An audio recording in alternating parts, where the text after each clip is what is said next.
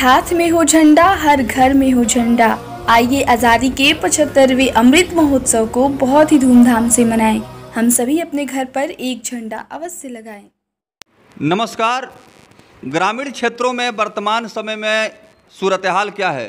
देश जो है अमृत महोत्सव की तैयारी कर रहा है और इस महोत्सव को लेकर के पंचायत स्तर पर भी काफ़ी ज़ोर शोर से इसकी तैयारियाँ हो रही हैं।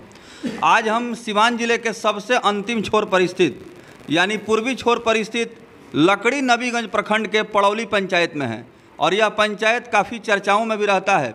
और इस पंचायत के बहुत सारे लोगों ने अपने विद्वता से अलग अलग क्षेत्रों में इस गाँव का नाम भी रोशन किया है। और ऐसे शख्सियत से आज मैं आपको परिचय करा रहा हूँ, जो परिचय का मोहताज नहीं है, इनका पूरा पारिवारिक पृष्ठभूमि समाज सेवा से जुड़ा है।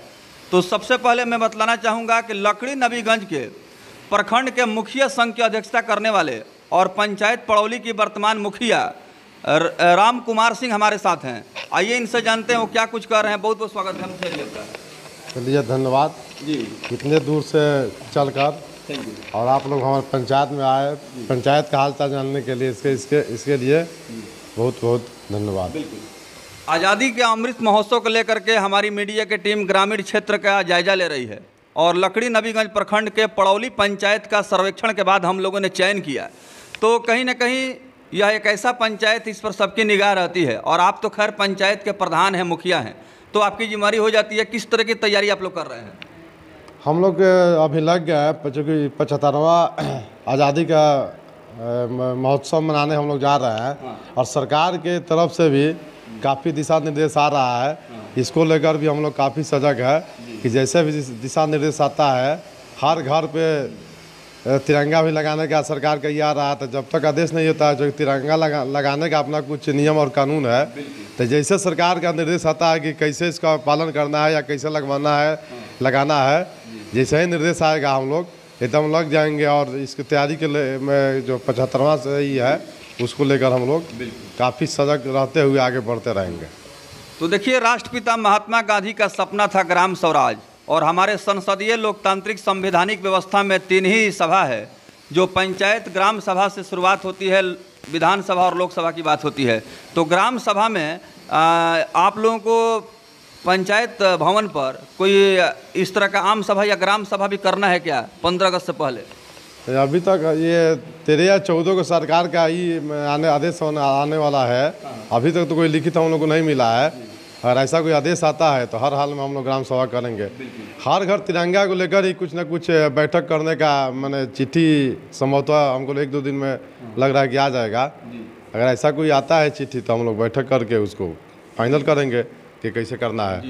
तो चूँकि आप लकड़ी नबीगंज प्रखंड के मुखिया संघ की अध्यक्षता भी कर रहे हैं पंचायत के तो मुखिया हैं ही साथ ही साथ पूरे लकड़ी नबीगंज प्रखंड के तमाम पंचायतों के मुखिया जनप्रतिनिधियों का आप नेतृत्व करते हैं।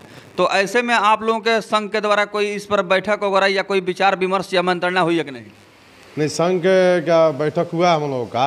आज से एक ही सप्ताह पहले हम लोग मदारपुर में भी पूरा जनप्रतिनिधि वार्ड से लेके पंच से लेके सरपंच और मुखिया का हम लोग बैठक किए हैं। इसमें कुछ हम लोग आपस में भी संघ बनाना था। कि आपस में पदाधिकारी ये लोग जो है चाहे जो भी मैंने कर्मी और गलत व्यवहार करते हैं या तो किसी भी मैंने जनप्रतिनिधि के साथ कोई गलत व्यवहार या थी समस्या आती है या विकास के संबंध में कोई ऐसी बाधा उत्पन्न किसी पंचायत में हो रहा है उसमें कोई बाधा आ रही है तो हम लोग हैं कि हर पंचायत में कुछ लोगों का जीते हुए प्रतिनिधियों का एक संघ बनाकर हर पंचायत में अलग अलग पंच वार्ड मुखिया और सरपंच का एक संघ, पूरा प्रखंड के अलग अलग पंचायतों में बना के और फिर प्रखंड स्तर पर हम लोग एक संघ बना के और उसमें जो भी समस्या आएगी, मैंने जिस भी प्रतिनिधि का या पंचायत का ही का, उसके लिए हम लोग लगे हुए हैं और इस पर भी हम लोग एक बार चर्चा चलाएगी आने वाले जो समय में पंद्रह अगस्त जो आ रहा है, उसमें हम लोग क्या करना है तो वहीं से उसमें हुआ कि सरकार का गाइडलाइन जिस आता है, फिर उसमें हम लोग आगे बैठक करके, अभी एक सप्ताह पहले हम लोग का बैठक हुआ है, अब फिर एक बार हम लोग बैठक करेंगे। अच्छा मुखिया जी अगर हम लोग लकड़ी नबीगंज प्रखंड की बात करें तो यह जो है प्रखंड कहा जाए कि इसमें जो भी पंचायत हैं उन तमाम पंचायतों में जो नवनिर्वाचित मुखिया जनप्रतिनिधि चुनाव जीत करके आए हैं उसमें अगर विद्वता की बात करें अनुभव की बात करें शिक्षा योग्यता की बात करें तो सबसे पहले नाम अ, मुखिया राम कुमार सिंह का आता है। तो ऐसे में जो आपके पास एजुकेशनल स्किल है एबिलिटी है, और यह जो परिवार शुरू से काफ़ी शिक्षित रहा है, संस्कारिक रहा है तो इस चुनाव में इसी का लाभ आपको मिला है क्या? देखिए, हम लोग तो इसके पहले भी महिला आरक्षण में 2011 में मेरी पत्नी चुनाव जीती है, और जहाँ तक समाज सेवा का जहाँ तक बात है, वो तो जब से पंचायती राज का गठन हुआ है, या पंचायत का गठन हुआ है, शुरू से हमारे बाबा बहुत पहले पंचायत के सरपंच लगातार रह चुके हैं। और उसके बाद से जब भी पंचायती राज का गठन हुआ है शुरू से बाबा से लेके और मेरे पिताजी से लेके और हम जो लोग जो है लगातार समाज सेवा में लगे हुए हैं वो चाहे जिस क्षेत्र में सहायता हो किसी के शादी विवाह में कुछ सहायता करना हो स्वास्थ्य के क्षेत्र में खासकर चूँकि मेरे दो भाई ऑलरेडी डॉक्टर है एक शिशु रोग विशेषज्ञ है और एक हड्डी रोग विशेषज्ञ है या और भी की गाइनिंग या जो भी प्रॉब्लम आती है, उसमें लोग जो आते हैं, राय विचार विमर्श लेते हैं, कुछ सहायता मांगते हैं तो जितना हो सकता है, अपने तरफ़ से हम लोग हर समय प्रयास करते हैं। उसके बाद, मैंने किसी गरीब का शादी विवाह है, कभी बीमारी किसी को हो गया, उसको कुछ पैसा का ज़रूरत है, हेल्प की आवश्यकता है, या कहीं किसी भी प्रकार की जो भी हेल्प की आवश्यकता होती है, उसमें हम लोग, मेरा परिवार जो है शुरू से, मेरे बाबा से लेकर और अभी तक हम लोग लगातार लगे हुए हैं। और आने वाले समय में भी ये जीत और हार तो होती रहेगी, इसमें कोई नहीं है। मैं मैं बीच इसके पहले मैं इलेक्शन हार गया था बीच लेकिन उसके बाद भी मैं लगातार पाँच साल पब्लिक के लिए और समाज सेवा के लिए हमेशा लगे रहे और लगातार काम करते रहे। और आगे भी हम लोग करते रहेंगे। ये मैंने आपको मैं आप, आपके चैनल के माध्यम से ही मैं पूरे पंचायत के लोगों को वचन दे रहा हूँ। अच्छा मुखिया जी अब थोड़ा सा पंचायती राज व्यवस्था में कहीं कहीं पंचायतों में प्रभार को लेकर के भी मामला उलझा हुआ है। वार्ड सदस्यों और मुखिया के साथ समन्वय और संबंध सही ढंग से नहीं बन पा रहा है। विकास कार्य बाधित हो रहा है। तो आपके यहाँ पंचायत में क्या स्थिति है? यहाँ उस तरह की कोई मतलब विरोधाभास या व्यवधान इस तरह का कोई मामले सामने तो नहीं आ रहे हैं? नहीं हमारे यहाँ हमको लगता है कि हम लोग के परिवार के बाद से कुछ विवाद रह गया है। हमको लगता है सात आठ आठ रह गया जिसका प्रभार अभी तक नहीं हुआ है। मैंने इसके पूर्व मुखिया जो थे वो अपना काम कराए हैं। और कागज़ जो है वो क्या बना है नहीं बना है अपना धीरे धीरे वो लोग ये कर रहा है। तो विरोधाभास नहीं है। देखिए काम कराने का अपना अपना तरीका है है। हम कि कर्मी को कैसे रखेंगे? वो अपना आवाज़ सहायक को कैसे मैंने काम करवाएँगे या वो कैसे काम कर रहा है? अ, रोज़गार सेवक जो कैसे काम कर रहा है हम कैसे करवा रहे हैं तो हमारा और आप उसके व्यवहार पर निर्भर करता है। मैं ये ज़रूरी नहीं है कि जो अभी वर्तमान में है उसको हम ट्रांसफ़र करा के दूसरा लाए तो उससे अच्छा काम करेगा।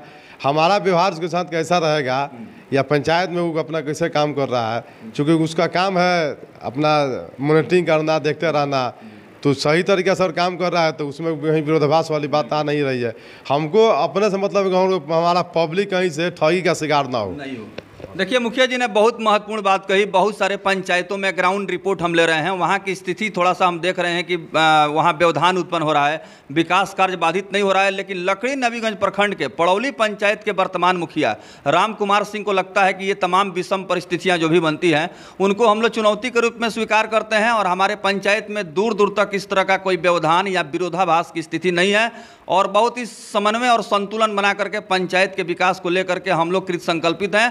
पंचायती राज व्यवस्था को धरातल पर क्रियान्वित करने के लिए हमारी टीम लगातार प्रयासरत है और हमारी कोशिश होगी कि जनता ने जिस उम्मीद से मुझे यह बागडोर सौंपा है, बड़ी ज़िम्मेदारी कंधों पर दी है, बखूबी इसको पूरे ईमानदारी से मैं निभाऊँ और ग्राम स्वराज को पड़ौली में स्थापित करूँ। तो उम्मीद करते हैं कि इसी तरह से आप ग्राउंड रिपोर्ट के माध्यम से तमाम अलग अलग पंचायतों की समस्याओं से अवगत होंगे, जनप्रतिनिधियों का काम करने का अंदाज कैसा है, वह किस ढंग से कार्य कर रही ये तमाम चीज़ें आप तक पहुँचेंगी। तो स्वतंत्रता दिवस के अवसर पर और सावन का पवित्र माह भी चल रहा है और मुहर्रम का महीना मुस्लिम भाइयों का भी चल रहा है। क्या शुभकामना देंगे? आज कल मुहर्रम का भी त्यौहार है। तो सबसे पहले मैं मुस्लिम भाइयों को बहुत बहुत शुभकामना देना चाहते हैं। और आज चूँकि सावन की अंतिम सोमवारी है इसलिए सभी महिला प्रतियों को भी अपने तरफ़ से और सभी पंचायत के लोगों को सावन की भी बहुत बहुत हार्दिक शुभकामना देना चाहते हैं।